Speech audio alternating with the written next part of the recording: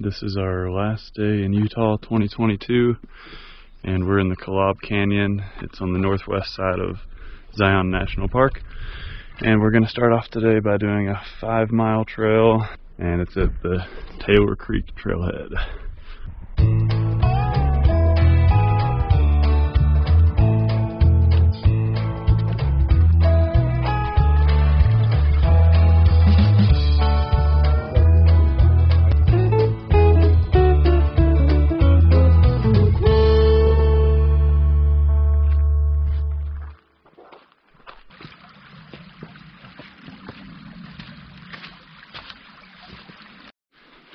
Compared to a lot of places that we've been this week in the desert, there's a lot of plants around here.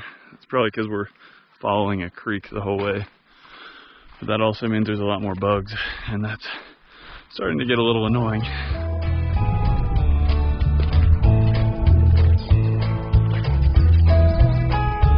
We both really enjoyed this trail. In fact, it's probably in my top 10. It was, for being five miles, pretty easy, especially compared to a lot of the other trails we did in this area of the state. There were some ups and downs, but nothing too bad.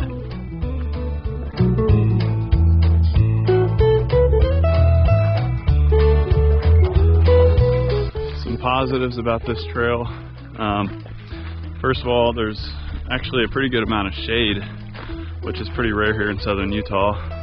Today the weather is just gorgeous. There's a light breeze, it's warm out, and the views are just incredible the whole way. We have walls on either side of us that are a thousand plus feet probably towering above us. And this is right off the interstate, and we've hardly seen anybody out here today. And then there's one negative, which is if you stop, probably about 10 flies will be crawling all over you because, I don't know, there's just a lot of flies around here.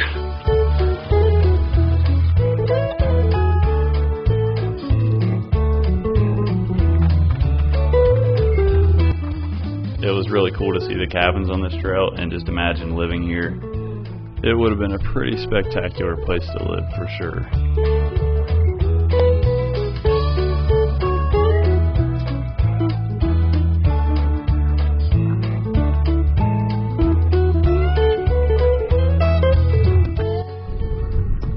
So this is the double arch alcove.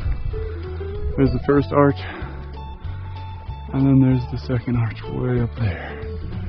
That is so high. These arches probably don't look that impressive with the video, but this is really one of those places that you just have to actually be in person to appreciate the beauty.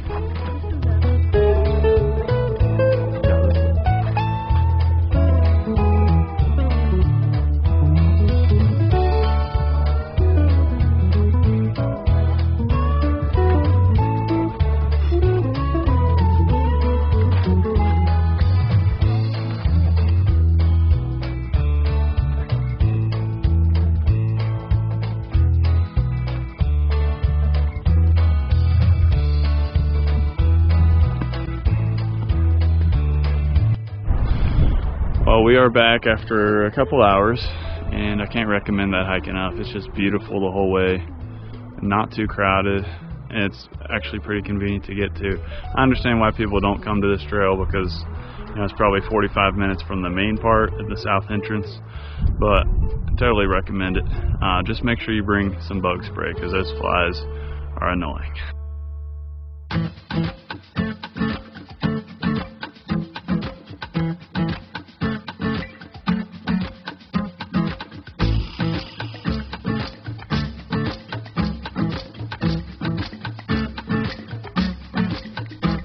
Final trail we did here was the Timber Creek Overlook Trail. The parking lot here was pretty big and it's only about a half mile hike to the fantastic overlook, so it's probably pretty crowded here in the summer.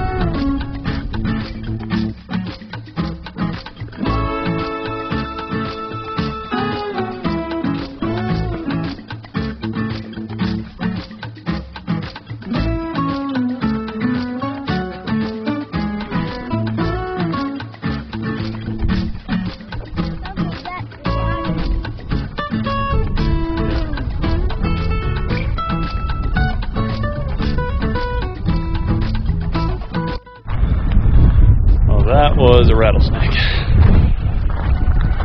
Almost walked right onto it. Now, I'm not positive that that was a rattlesnake, but it did appear to have a rattle on the back, and when I looked up some pictures on Google, it sure looked a lot like it. Either way, though, it was definitely used to people because it did not seem threatened by me at all. I'd say this is probably the fourth best overlook in Zion National Park, definitely the best one in Kolob Canyon. You almost get 360 degrees of beautiful scenery. We just hung out here for a while, we ate our snacks and enjoyed the view.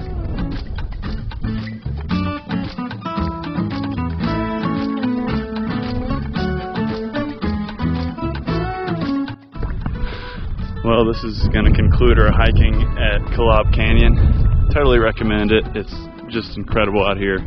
It's a nice day trip. We're gonna pretty much head back to Las Vegas and fly out tonight. This adventure's been fun. Can't wait for the next one. Bye.